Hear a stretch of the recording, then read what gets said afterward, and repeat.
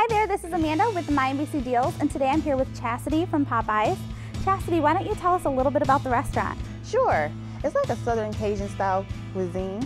Popeyes has been around since 1972, and we like to keep the New Orleans tradition. We love to invite the entire family to sit and enjoy our delicious food. That sounds great. So if you want to catch this $20 deal for only 10 bucks, then make sure to log on to mynbcdeals.com now.